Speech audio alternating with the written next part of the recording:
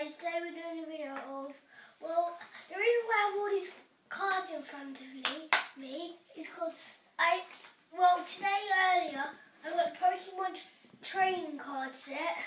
At the moment I have the hiccups. So, I'll, I'll, I'll show you how, I'll show you how it works. If you already know, skip ahead a bit. I do have two of the same. Where, where is it? Card here is a gigantic card. And I'll see if I can find the mini one of it. Here, here it is. Match them. Match. There's one match. I know there's two matches. This one would definitely be like the water one.